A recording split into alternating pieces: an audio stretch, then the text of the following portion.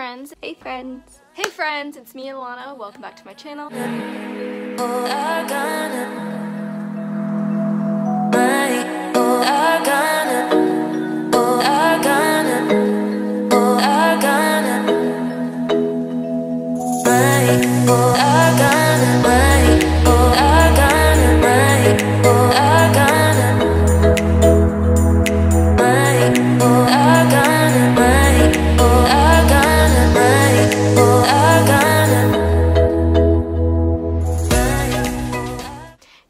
You are all you are all sunflowers in a world full of weeds. Hey friends, it's me Allana. Welcome back to my channel. For this video, I'm actually going to be talking about some books that I wish I had read in this year of 2020.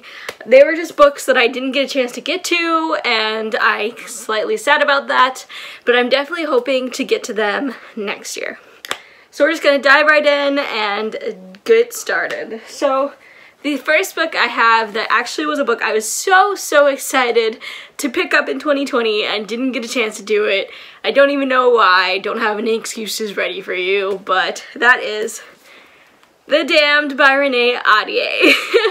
I was so excited for this book because I really love The Beautiful, but I still haven't picked it up and I just, I can't tell you why. I think it was just timing and my nerves, but I'm definitely hoping to pick this up next year. I'm actually going to be buddy reading this with a friend in January, so look out for my January TBR. This picks up where The Beautiful left off. I'm definitely not going to give spoilers, but from where The Beautiful ended, I am so looking forward to see what happens next. I'm really anxious too because it really left you on a cliffhanger, but like an emotional one because you didn't really know what was going to happen next and I'm definitely, definitely looking forward to seeing what is going to go on in the story. Also, the third one just got announced for 2021, so definitely need to be reading this uh, before that even comes out so I can get caught up. Next book I have on this list is Cinderella is Dead by Kalynn Bayron.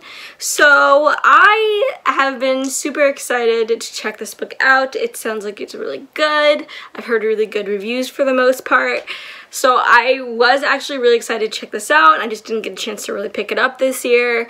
So again, definitely hoping next year will be the time for this. Uh, from what I understand, this is a Cinderella retelling, but obviously black and queer. And I am definitely looking forward to seeing how this is portrayed because I honestly haven't really read a lot of Cinderella retellings surprisingly so I'm definitely trying to get more into that I guess like retellings in general and seeing how I feel about them. Okay, next is actually a book I started and then put down because I was in a slump and I didn't want my slump to ruin it and that is House of Earth and Blood by Sarah J Maas. I, again, was in a slump when I started this and I didn't really want my slump to ruin my view of this so I decided to just put it down for now and to pick it up next year when I was back in my reading groove. So that is my plan. I'm hoping to maybe pick it up this summer and just dive right into it and see how I really feel about it. Hopefully I won't have any more slumps next year and I can have some good reading grooves going on. So from what I understand, this is about a girl named Bryce whose best friend is murdered and she basically goes on a hunt with a fallen angel of some sort to find her best friend's killer. That's as much as I know, so I am definitely looking forward to trying this again and picking it up. Next book I have here is Grown by Tiffany Jackson. This was another book I was definitely looking forward to reading this fall. I am slowly getting into Tiffany Jackson's work, so I kind of want to read her some of her previous books before I pick this up just because I'm a weirdo like that.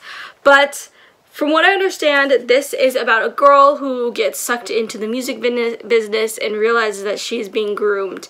And one night she wakes up with a dead body next to her. And so I guess it's kind of like a compilation of all that and her figuring out what happened. I know Tiffany Jackson said this kind of was inspired by the R. Kelly cases, which I am definitely um, intrigued to see how this plays out and honestly this cover is just so gorgeous anyways so definitely looking forward to making this a priority for next year. The next book I have here is Children of Virtue and Vengeance by Tomi Adeyemi. This is the second book to Children of Blood and Bone. I loved the first one, so I'm definitely looking forward to picking this up. I think I might have to skim the first one though, just to remember everything that happened to be able to move on to this one because uh, it's been a minute and my mind is clouded with other things.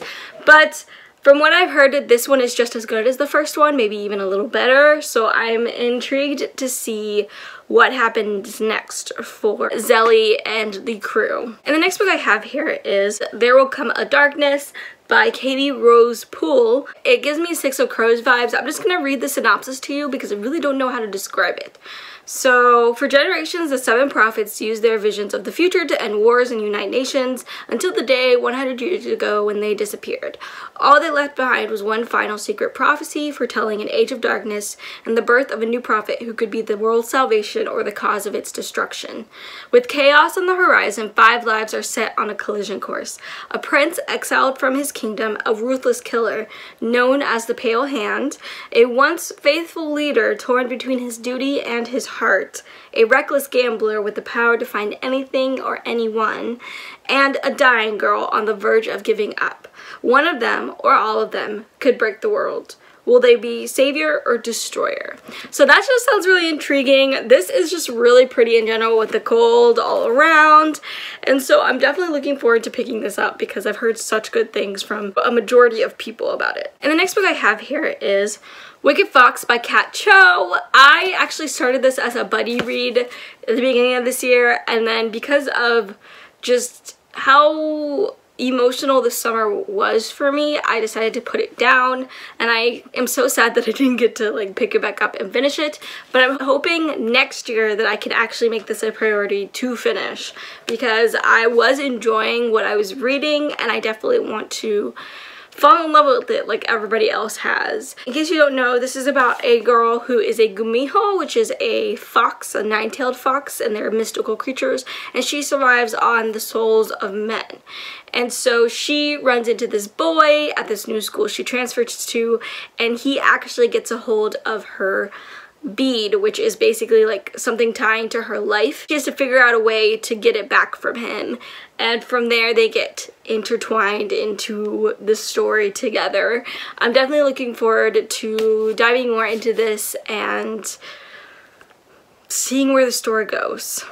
Alrighty, so that is my list of books that I wish I had read this year. Hopefully I can definitely move on to them next year. If you like the video, please like it down below. If you have any comments, questions, concerns, please leave all that down below in the comment section. If you're not good at commenting, I'm to go ahead and say leave me an emoji down below.